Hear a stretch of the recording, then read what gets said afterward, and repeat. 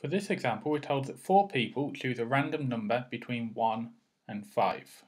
We've been asked to find the probability that any of them choose the same number.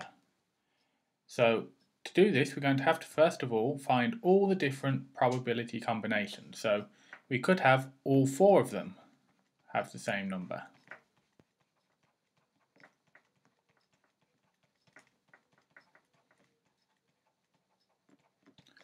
Or three of them could pick the same.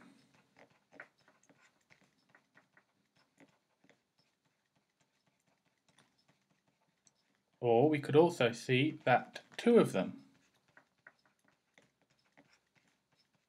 could also pick the same. So there's many, many different combinations to calculate this probability. And so it's going to be a very long calculation working out the probability that they all pick the same, that three of them pick the same, then two of them pick the same. Or we can use the idea that the probability of them matching, which is all of these three, plus the probability that they don't match,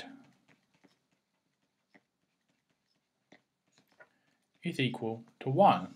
And that is, the sum of all probabilities is equal to 1. So we can see that the probability of them matching is 1 minus the probability that they don't match. Now the probability of them not matching is far easier to calculate than all of these different combinations. So the probability that they don't match Well, if we consider the first person, they've got five numbers to pick from out of five. So the second person, they now only have four numbers they can pick from because one of them's already been taken out of the five that are still there. Now the next person, as two have already been taken, that leaves them with only three out of the five, so the probability is three-fifths for them. And then the last one, well there's only two numbers left which I can choose from, so that is 2 over 5.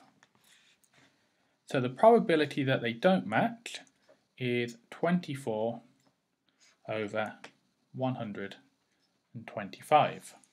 So the probability that they don't match, so they all get different numbers, is 24 over 125. So we see that the probability of them matching is 1 minus this probability that we just calculated. And so to calculate this value, we need to get them over a common denominator. So it's 125 minus 24 all over 125.